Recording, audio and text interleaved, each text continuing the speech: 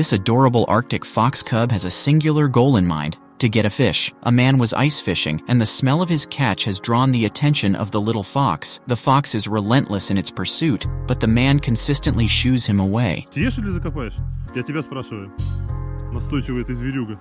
It's a playful game of persistence and resistance, with the fish as the prize. However, the fisherman's resolve eventually melts in the face of the fox's adorable determination. Unable to resist the fox's charm, he finally allows the little creature to claim his fish and enjoy a well earned meal.